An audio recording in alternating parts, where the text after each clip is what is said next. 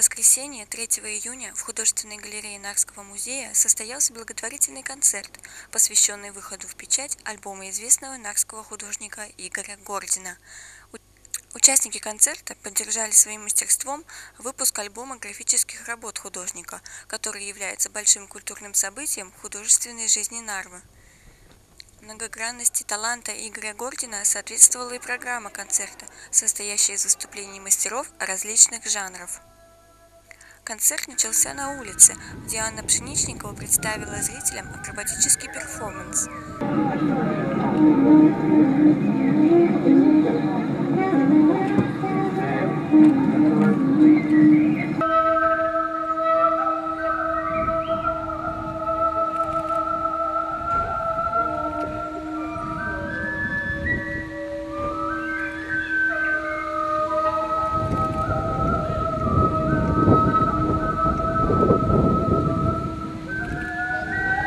Thank you. После зрители проследовали в зал художественной галереи, где можно было увидеть хореографическую композицию от танцевального коллектива «Варют», музыкальную импровизацию Никиты Грушева на саксофоне, классическую музыку от учеников Нарской музыкальной школы, а также рок-музыку от группы «Мора».